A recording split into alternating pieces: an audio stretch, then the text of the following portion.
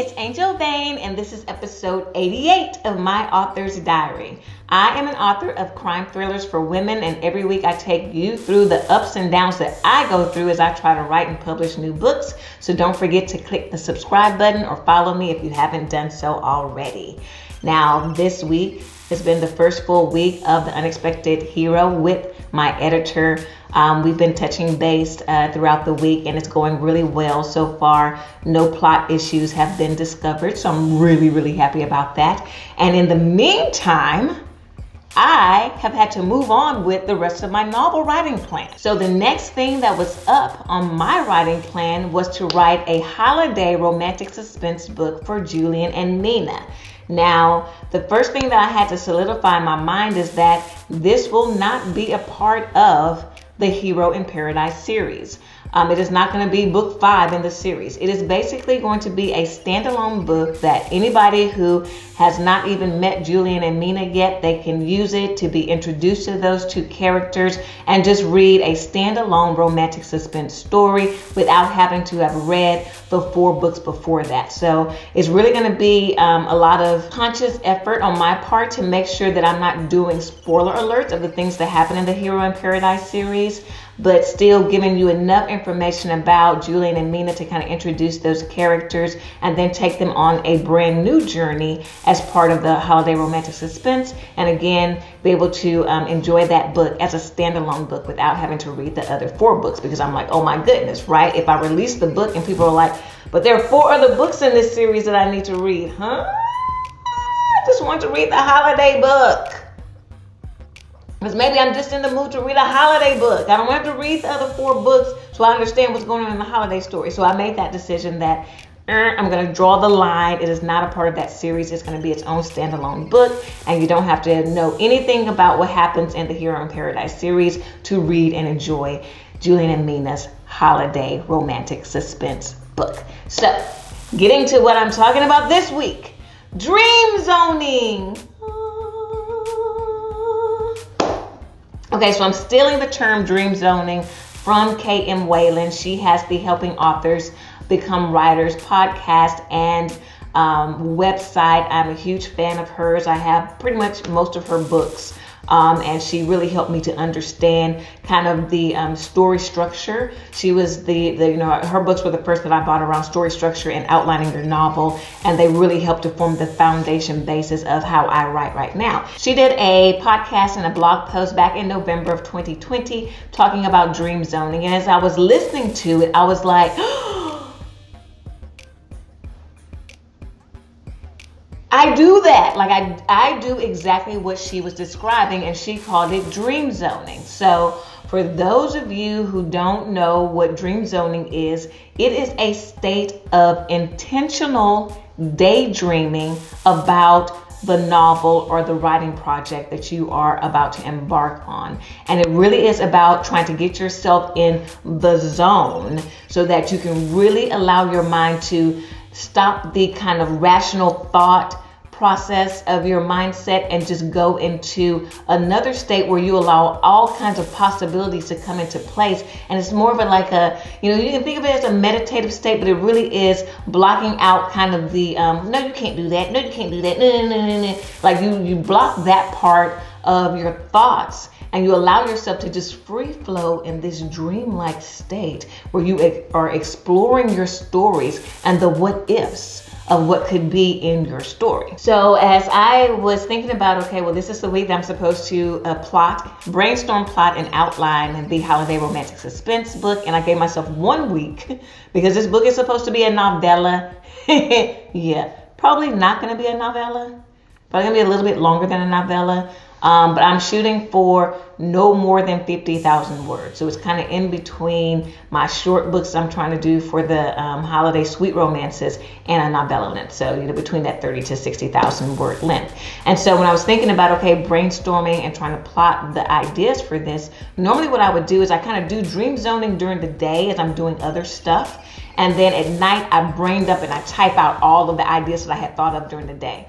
And so, what happens doing that each day with all of my different thoughts, I waste a lot of time typing stuff that I'm ne- uh, I end up not using. And so then I'm like, Especially if you figure out the next day that you don't need 90% of the stuff that you typed the day before, you're like, okay, well, I just wasted that time. I like really wasted time. So this week I decided to take a different approach because I'm like, well, look, you know, you do dream zoning. So instead of documenting everything at the end of each day, Allow yourself to continuously dream zone until you believe that you've gotten to a point where you have the good skeletal bones of your story in place. And so that is what I have been doing this week. I did four full days of dream zoning to try to get the skeletal bones of my story in place. So, first, let me explain to you when I do dream zoning. So, I am the type, and K.M., this is where K.M. Weiland and I kind of deviate, but it's okay. I'm not mad at her. I'm not mad.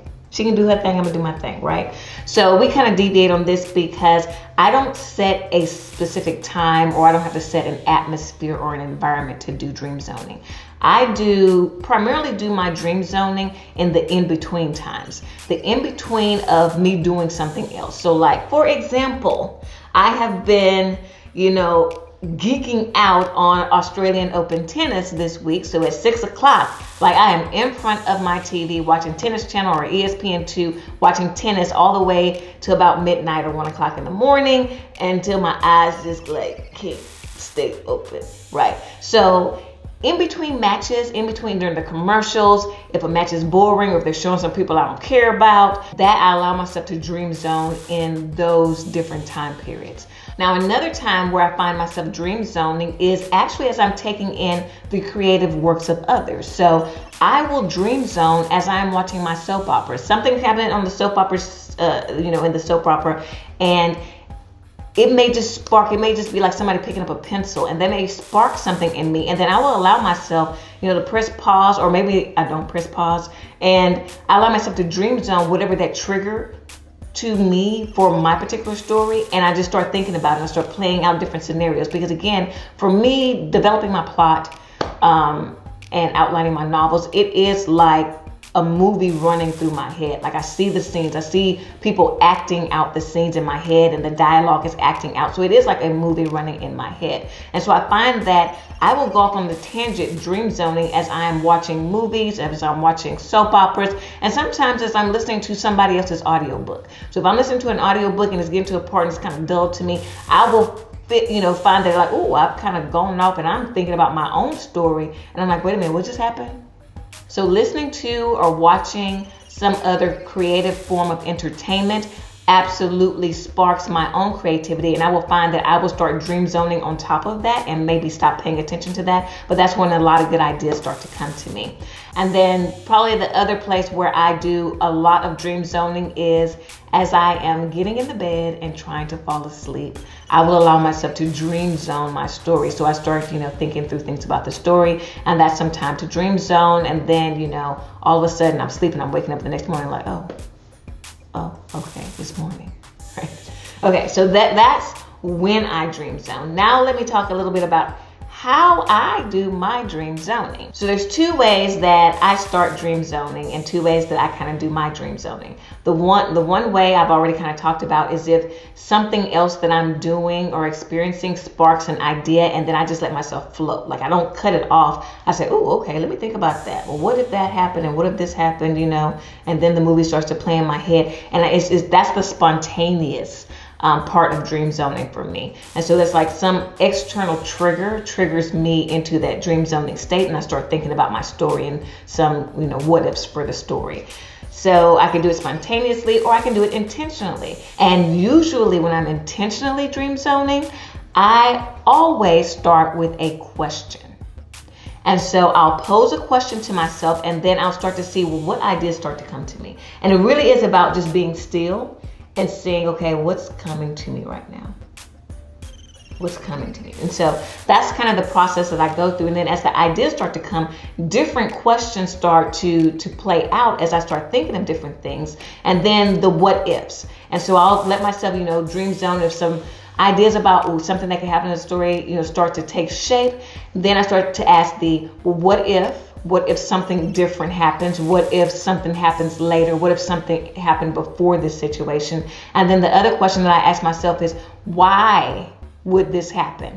Why would this person think this? Why would this person do this? Do you really have a good reason why this would occur? And so it's those those kind of sets of questions that, that I keep tossing around over and over and over in my head as I'm doing this dream zoning. And it helps really to make the story solidify and start to take shape in my mind. And so what I decided to do this week for the holiday romantic suspense book for Julian and Mina is that I said, okay, you know what? You're not writing nothing down, right? So you keep dream zoning and it was a game. It was like it was a challenge almost because if the idea that I came up with in the dream zone state was good enough, then I wouldn't forget it. So it was, it was all about what is sticking, continue to stick with me over multiple days that I'm not forgetting that this should be a part of the story. If I came up with an idea and I thought, oh my goodness, this is such a good idea, this is something that I want to do, and then the next morning I was like, wait, what was the idea I came up with? That means it was, it's not a winner. It's not a winner. And so after four days,